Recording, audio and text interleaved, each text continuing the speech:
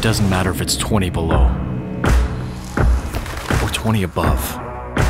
Far and wide, from sea to sea to sea, we've got road to cover. When you deliver a million things a day, you get pretty good at it. And no matter what Canada puts in our way, we bring it.